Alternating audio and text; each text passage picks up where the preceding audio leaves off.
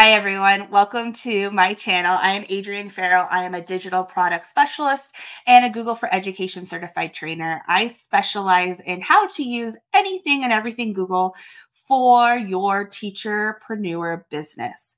My focus is on digitization, and today we are going to hop on in and look at how to use the theme builder, also known as Master Slide, in Google Slides to really customize your product before you even begin. So let's jump on in. All right, so here I have Google Slides. I haven't done anything to it at all. I'm going to go here to View and then Theme Builder. And Theme Builder is where we can customize all those little nitty gritty aspects of our presentation before we even start building anything. So if you click on theme, this is where you're going to be able to edit the font and the font size for everything going forward. So if I go here to Arial, uh, the fonts, I'm going to choose a font to change to. I'm going to change to Century Gothic. I can also click on more fonts and I can have a bunch of different fonts that are Google fonts, ones that work with Google that I can choose from. Then I can go here and I can either make all of these the same font or I can also um, maybe make these different fonts depending on how I'm going to design my product. And you can also change the font size for these. So each of these different levels can be different sizes. These are your bullet points for as you go throughout your project. And if you notice here, all of the text has been changed in the layouts. So this is a fantastic way to make sure that your font. You don't have to worry about fonts anymore. It's great. Remember, you can only use Google Fonts for that, that particular part. All right, so I can then edit these layouts individually if I'd like. Um, these are the standard ones put out by Google. And then I can also duplicate and create my own. So what I'm going to do is I am going to go here. I'm going to make a box, and this is going to be a directions box for me. I'm going to make a transparent background. I am going to move my font up here at the top. I'm going to change the Century Gothic, move it to 18, and do bold. So I'm going to say directions. So this will be static in the background. It will not move or be able to be moved by um, anyone in, using the product. Unfortunately, things like align and distribute isn't, um, well, because we don't have multiple objects, but here you can do um, a vertical distribution to make sure that it's centered on the page. Okay, and then I these boxes here where it says click to edit theme style, these are editable, editable boxes on Google. So maybe what I'm going to do is I'm going to copy that box we're going to put it here and we're going to maybe put it right here in the middle. So this can be changed. And then I'm going to go over here and I'm going to take this set of text and then this can go underneath the direction box right here. So now I have a direction slide and I can actually rename this so it is called a direction slide. So when I choose my layout or I choose my, um, or I turn a slide into a different layout, I can see that this is my custom direction slide. You can also delete slides. So maybe I don't think I'll need this one.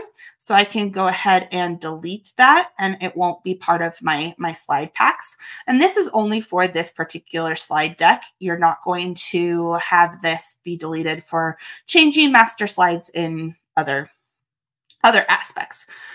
Okay. So now I can customize the colors, images, etc. So I'm going to change the background in here. I could make an image in PowerPoint or upload a border or something like that. Um, that could be really awesome. But I'm going to just choose this nice little yellow in the background. And then maybe, well, let's stick with that. And then I could also add an image if I wanted to. Remember to make sure you have rights to your image. So any clip art that you use, and you want to ensure that it is able to be used for commercial purposes if you're pulling anything else in from the web. I'm just pulling an image for demo purposes right here. So just do that up in the corner.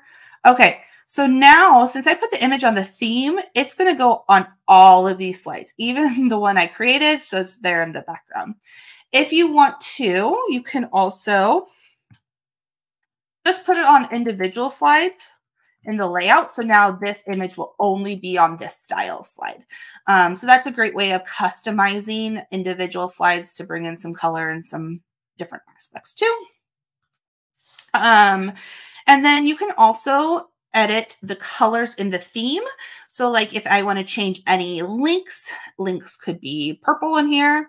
Um, maybe my text and my background, my text is actually going to be white. So now I've changed all of this text, like the header text to white, or maybe that's going to be a dark blue. And then text and background there, maybe that's one's a light blue. Then let's see, other ones like this style text, maybe that's a yellow. As we can see, this got changed to a yellow there. So, you know, maybe I don't like that. Maybe it needs to be red. So then now I we have your set font colors for as you're going through your presentation. Um, I would not, um, on a graphic designer standpoint, not look at this as the uh, colors and the theme of that you should go with, but this is a demo. Lastly, we will exit out of here and then we can play around and see what these actually look like. So here is our um, header slide. We can actually change the layout here from this aspect. Notice this is the direction slide right here. I can add a title in um, this box. I can also move this box around because it is an editable uh, text box. Same thing for directions. I can edit here um, as well. But this, my where it says directions and this box is not being able to be moved.